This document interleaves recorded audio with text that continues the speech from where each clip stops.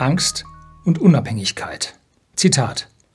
Politik machen, den Leuten so viel Angst einjagen, dass ihnen jede Lösung recht ist. Wolfgang Weidner.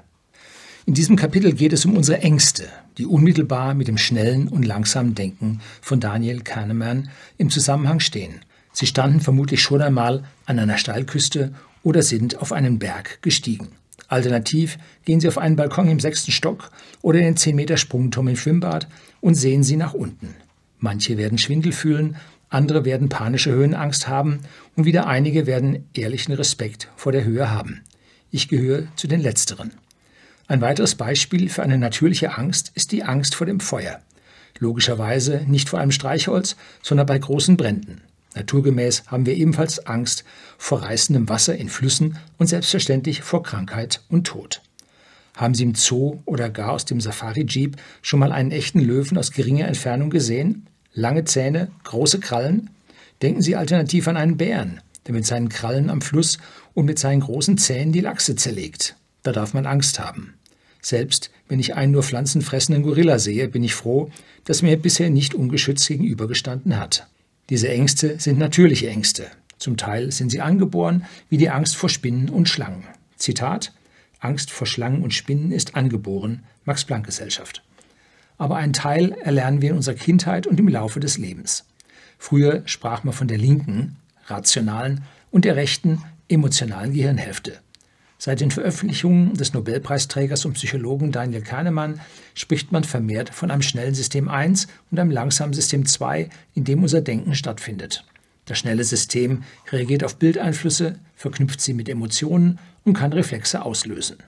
Das langsame System ist analytischer Natur. Hier findet das rationale Denken statt. Wenn Sie zum Beispiel 12 mal 24 im Kopf ausrechnen, 240 plus 48 gleich 288 oder das Wort Marktstammdatenregister lesen müssen.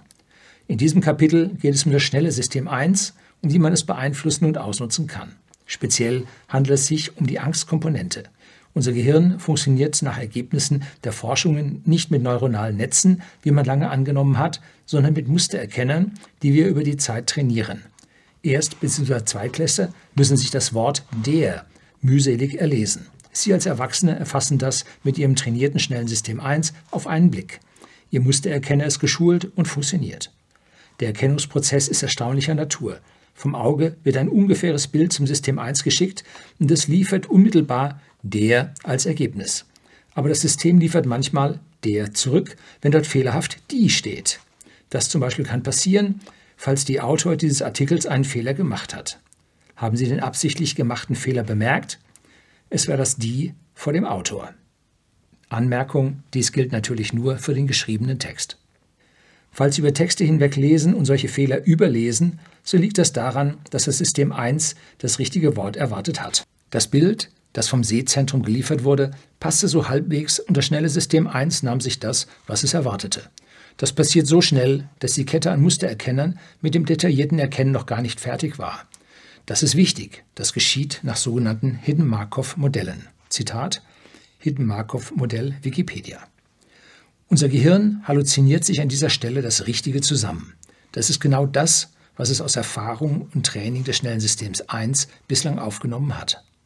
Ein weiteres Beispiel. Suchen Sie bei Google im Inkognito-Modus zur Vergleichbarkeit nach Schwangerschaftstestwerbung. Was sehen Sie? Frauen, die bereits hochschwanger sind und einen dicken Babybauch haben. Die beugen sich mit dem Vater über ein Teststäbchen und sind überrascht. Falls Sie jetzt Ihr analytisches langsames System 2 verwenden, dann sind diese Fotos schwachsinnig. Die Frau ist schwanger und wird gleichzeitig keine zweite Schwangerschaft bekommen. Aber die, die solche Tests suchen, trifft man zielgenau mit diesen Bildern mitten ins schnelle System 1. Der dicke Bauch signalisiert Schwangerschaft und die werdenden Mütter und Väter haben das anschaulich über ihr Leben gelernt. Und das schnelle System übersetzt diesen Treffer, je nach Erwartungshaltung, zu einem freudigen Ereignis oder nur Angst. Es geht noch weiter. Wenn man die Datenübertragung vom Auge ins Gehirn analysiert, so reicht die Übertragungskapazität der Nervenstränge für das komplette Bild nicht aus. Das Gehirn addiert deshalb zum Bild hinzu, was es aus den Bildern zuvor behalten hat. Es gibt Versuche zur Aufmerksamkeit von Probanden. Dazu erhalten sie auf einem Monitor einen Film vorgespielt, in dem Menschen mit weißen und schwarzen T-Shirts sich einen Basketball zuwerfen und bei Durcheinanderlaufen und ständig die Positionen wechseln. Die Aufgabe lautet zu zählen, wie oft eine Person mit weißem T-Shirt den Ball gefangen hat. Zitat 1 Invisible Gorilla Test shows how little we notice. Life Science Charles Q. Choi. Das Video für die Probanden können Sie im Internet sehen. Zitat 2 Selective Attention Test Daniel Simons. Zählen Sie mit. Dann lässt man eine als schwarzen Gorilla verkleidete Person zwischen den Spielern hindurchlaufen. Die ablenkende Aufgabe des Ballzählens lenkt das schnelle System 1 vom Rest des Geschehens ab. Der Gorilla ist schwarz und die zu generierenden T-Shirts sind ebenfalls schwarz. Eine große Menge an Probanden sieht den Gorilla nicht. Das Gehirn gibt diese Informationen nicht weiter. Das schnelle System 1 hat den Basketball fixiert und liefert nur weiß als Antwort bei der passenden Person. Mehr nicht. Kommen wir zurück zu unseren Ängsten. Neben den natürlichen Ängsten gibt es übernatürliche Ängste. Eine der in der jüngsten Vergangenheit des Homo sapiens am weitesten verbreitete Ängste war die Angst vor der Hölle. Hier schüttete man die Angst vor Feuer, Zähnen, Klauen, Krankheit, Schmerzen usw. So als übernatürliche Angst über den Menschen aus. Warum? Weil religiösen Führer damit Macht auf den Untertan ausüben können. Hat jemals eine lebende Person von dieser Hölle berichtet? Nein. Aber die Aktivierung des schnellen Systems 1, tue das nicht, sonst kommst du in die Hölle, war extrem hilfreich. Das schnelle System reagiert meist über das Auge. Deshalb wurden in den Kirchen Bilder von Höllenszenen gezeigt. Dantes Inferno ist ein solches Beispiel. Es wurde oft illustriert. Obwohl niemand von dieser Hölle berichten kann, sitzt diese übernatürliche Angst tief in den Menschen. Ich bin lange mit meinem Leben ohne diese Hölle aufgewachsen. Erst im Religionsunterricht in der weiterführenden Schule brachte man mir das Konzept zum ersten Mal nahe. Meine Eltern hielten glücklicherweise dagegen. Das System 1 wurde damit nicht programmiert. Zitat Ein zuverlässiger Weg, um Menschen an unbewiesene Dinge glauben zu lassen, ist die häufige Wiederholung, denn Vertrautheit ist nicht leicht von Wahrheit zu unterscheiden. Daniel Kahnemann. Kommen wir zu einer modernen, unnatürlichen Angst. Sie wird uns wieder und immer wieder von Politik, Medien und NGOs wiederholt. Extremwetter wie Unwetter, Fluten, Sturmfluten, Starkregen, Dürren sollen in den letzten Jahren bei uns zugenommen haben, denn der menschgemachte Klimawandel verstärkt sie. Diese Aussage ist nicht wahr, falls man unseren höchsten staatlichen Stellen glaubt. Sie wird aber dennoch regelmäßig von Politik, Medien und NGOs wiederholt. Es gibt eine gute Zusammenfassung der entsprechenden Daten vom Deutschen Wetterdienst DWD und dem Umweltbundesamt. Sie sagen eindeutig, dass es keine wissenschaftlichen Beweise für diese Starkwetterereignisse gibt. Mein Namensvetter und IPCC-Gutachter Dr. Habil Sebastian Lüning hat das in seinem Vortrag Ist das Wetter in Deutschland wirklich extremer geworden? wissenschaftlich nachgewiesen. Zitat 1 Sebastian Lüning, ist das Wetter in Deutschland wirklich extremer geworden? Vortrag Eike, Europäisches Institut für Klima und Energie. Durch die regelmäßige Wiederholung der fehlerhaften Aussage werden übernatürliche Ängste der Menschen auf der Basis der natürlichen Ängste geschürt. Wir wissen schon, warum das gemacht wird. Vertrautheit ist nicht leicht von Wahrheit zu unterscheiden, wie Daniel Kahneman sagt. Es gibt international den Begriff der German Angst. Diese Angstmacherei zur Beherrschung der Massen hat eine lange Geschichte.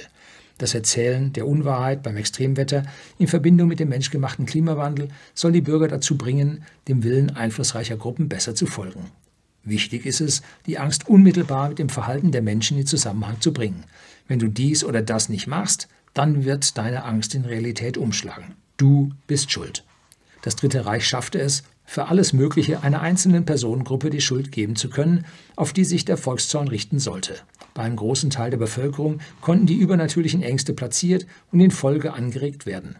Wir alle wissen, dass das Ergebnis furchtbar war und millionenfachen Tod über beteiligte und unbeteiligte Bürger brachte. Aktuell wird mit der Angst vor Krankheit und Tod mit den Menschen Schlitten gefahren. Jeden Abend läuft die Horrorshow im Fernsehen und den ganzen Tag sieht man ebenfalls Särge, Spritzen und Intensivbetten auf den Internetnachrichtenportalen. Hier wird der Bildinput des schnellen Systems 1 genutzt, um eine übernatürliche Angst zu schüren. Eine neutrale Sichtweise würde einfach Zahlen berichten. Das Bildsystem zusätzlich zu aktivieren, halte ich zur Angsterzeugung in der breiten Bevölkerung für schändlich. Es geht noch eine Stufe schlimmer. Man versucht nicht nur, den Menschen für seine fremden Ziele, Ideen und Ideologien zu beeinflussen. Die Steuerung der übernatürlichen Ängste wurde schon vor über 100 Jahren zur Ausgrenzung von Bevölkerungsgruppen verwendet. Vergleiche mit der aktuellen Spaltung der Gesellschaft drängen sich auf.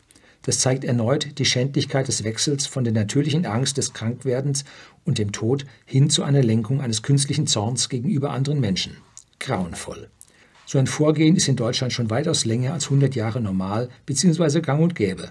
In jüngerer Zeit hat sich der Begriff der German Angst als Fremdwort im Angelsächsischen verbreitet. Damit bezeichnet man die Angst des Deutschen vor übernatürlichen Ängsten. Wie das funktioniert, können Sie Buch im Wolfgang Hauke German Angst ihre geschichtlichen Wurzeln und ihre ideologische Auflösung nachlesen.